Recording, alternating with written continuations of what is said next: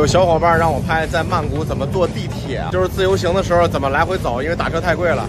OK，首先我们随便找个地铁站，这地铁不比北京浅。你可以在人工窗口买票，也可以在自助机上买票。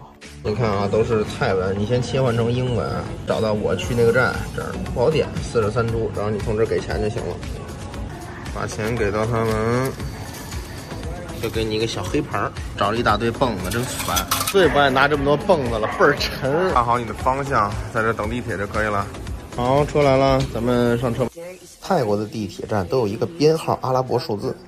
你记住你这站的编号就行了，不用记这个英文或者泰文名。